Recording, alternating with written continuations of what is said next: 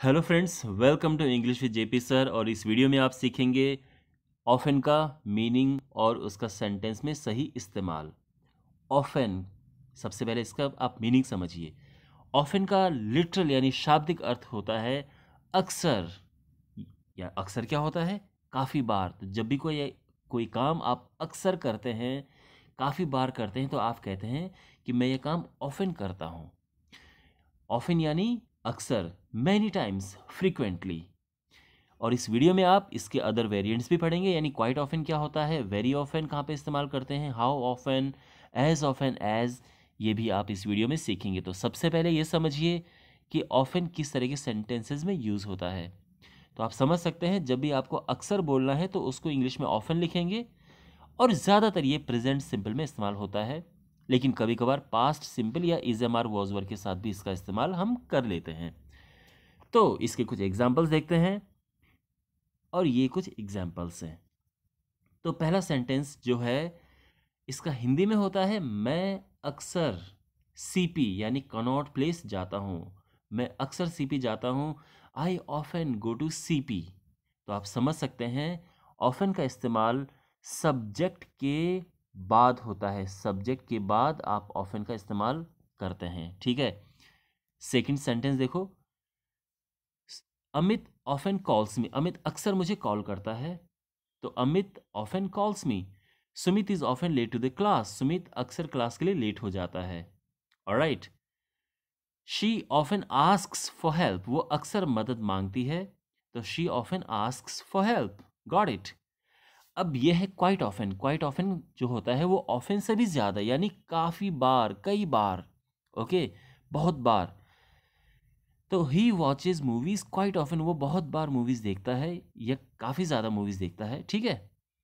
Quite frequently I visit temple quite often मैं बहुत ज़्यादा बार टेंपल जाता हूँ so I visit temple quite often Sita misses her bus quite often Sita अक्सर बहुत ज़्यादा बार आई I मीन mean, अपनी बस मिस करती है तो Sita misses her bus quite often तो जब भी कोई आप काम काफ़ी बार करते हैं तो आप कहेंगे क्वाइट ऑफन और वो सेंटेंस के एंड में आता है। ध्यान रखना। और राइट कुछ और सेंटेंसेस है? देखो। जब भी आप नेगेटिव बोलेंगे, यानी आप अगर ये बोलेंगे कि मैं ये काम ज़्यादातर नहीं करता हूँ या मैं ज़्यादातर सिनेमा हॉल नहीं जाता हूँ, ठीक है? मतलब तो ये क्या होगा? I don't go to cinema very often मतलब मैं ज़्यादा मूवीज़ नहीं, मैं सिनेमा नहीं जाता हूँ। जैसे मैं मैं कुछ खास टीवी नहीं देखता हूँ, मैं ज़्यादा, मैं अक्सर टीवी नहीं देखता हूँ तो क्या होगा? I don't watch TV very often ठीक है? मैं ज़्यादा टीवी नहीं देखता हूँ या मैं ज़्यादा सिनेमा नहीं जाता हूँ I don't go to cinema very often समझ गए? ध्यान रखना डोंट आएगा लास्ट में वेरी ऑफन लगा देंगे। जैसे आप ये बोलोगे कि मैं जंक फ़ूड ज़्यादा नहीं खाता हूँ। So I don't eat junk food very often got it अच्छा। अब हाउ ऑफन जो होता है क्वेश्चंस में अगर आपको ये पूछना है कि तुम यह काम कितनी बार करते हो तो उसको आप हाउ ऑफन कहेंगे। How often do you visit your home town so I visit my home town once every month तो आप अपने होम टाउन कितनी बार जाते हो? मैं अपने होम टाउन महीने में एक बार जाता हूँ, हर महीने एक बार। How often does Puja call you Puja तुम्हें कितनी बार कॉल करती है? तो she calls me every day okay इसमें क्वेश्चन मार्क गलत है क्वेश्चन मार्क नहीं है तो ये आंसर है she calls me every day how often are you late to the class तुम अक्सर क्लास के लिए कितना लेट होते हो? या तुम क्लास के लिए कितनी बार लेट होते हो? तो ये है क्वाइट ऑफन यानी मैं बहुत बार लेट हो जाता हूँ। राइट तो अब समझ आ गया हाउ ऑफन कैसे यूज़ करते हैं। तो हाउ ऑफन मीन्स कितनी बार। अंडरस्टैंड अच्छा।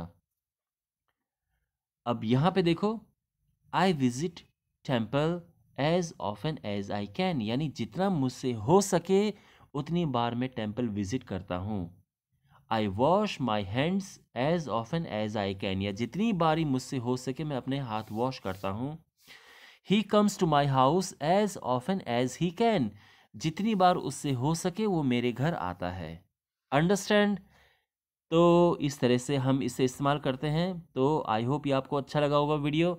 एंड अगर आपको वीडियो अच्छा लगा है तो आप इसे शेयर कीजिएगा अपने फ्रेंड्स के साथ और चैनल को ज़रूर सब्सक्राइब कीजिएगा। And I will see you in the next video till take care God bless you